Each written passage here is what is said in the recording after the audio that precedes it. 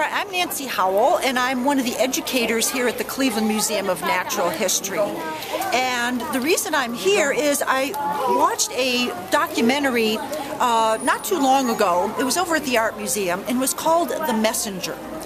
And if you have not seen it, we're going to screen it here at the Natural History Museum on the evening of Wednesday, September 28th at 7 p.m. The documentary is actually about migratory songbirds and the decline that they're facing, the problems that they're facing, not only on migration, but also in their nesting areas further north or right, right here, even in Ohio, and the problems that they're facing on their wintering grounds and everywhere in between.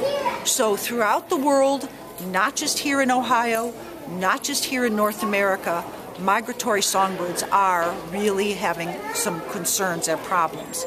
So right here in the lobby of the museum is where we're going to have what is called an Enviro Fair, where a number of conservation organizations, uh, land conservancies, birding organizations, and we're even hoping for some veterinarians to be here to talk about how important it is to protect your neighborhood, your yard, uh, make it more bird friendly so that any migratory songbirds coming through in the heading north or heading south can can find your neighborhood, your yard as a refuge.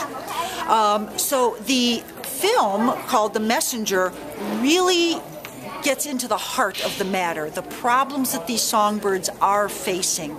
Um, it's it's pesticides, it's uh, loss of habitat, it's crashing into buildings uh, on their migratory night flights, it's cats that are free roaming. A lot of things that are going to be covered in this film. It's very sobering. Uh, you may want to bring tissues because really um, the, the, the documentary uh, has a lot to offer.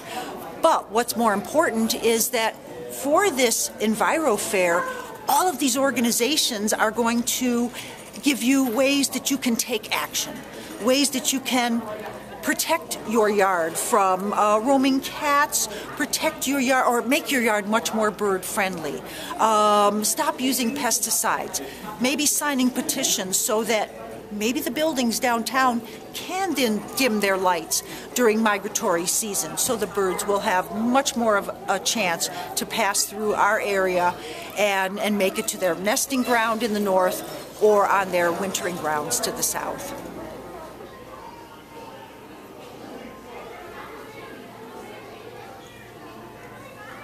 よろしくお願いします。